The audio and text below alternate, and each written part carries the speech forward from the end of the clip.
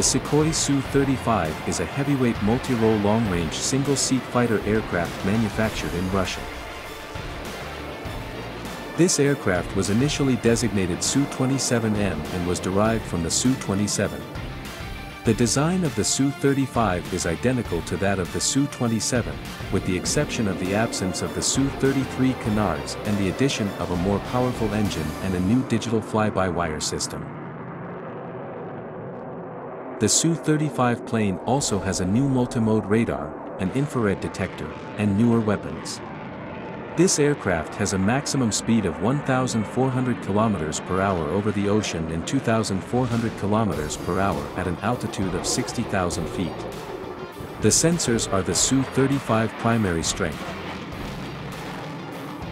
The NIIP Tikhomirov Irbis radar is said to be capable of detecting 30 airborne targets and 4 ground-based objects up to 400 kilometers away. The aircraft is fitted with an internal 30mm GSH-30 gun capable of firing 150 rounds. There are 12 slots made up of two rails at the tips of the wings and 10 wings. Each slot can hold a missile, rocket, or bomb that weighs up to 8,000 kilograms.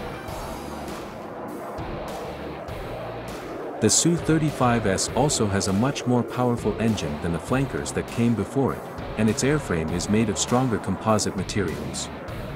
This means that the airframe of this supersonic fighter jet will last longer than that of the flankers that came before it.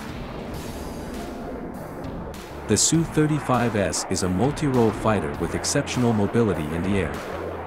The two thrust vectoring jet engines on the Su-35S, also known as the Saturn AL-41F1S turbofan, may rotate independently in different directions to enable the aircraft roll, perform difficult maneuvers, and reach high angles of attack when engaging opponents at close range.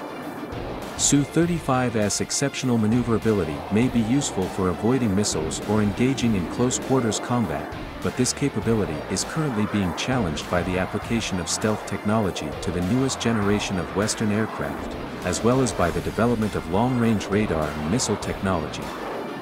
This fighter is equipped with a number of the most recent and innovative avionics technologies. Capable of carrying modern air-to-air -air and air-to-surface missiles, guided bombs, and being protected by a missile warning system and an electronic shield.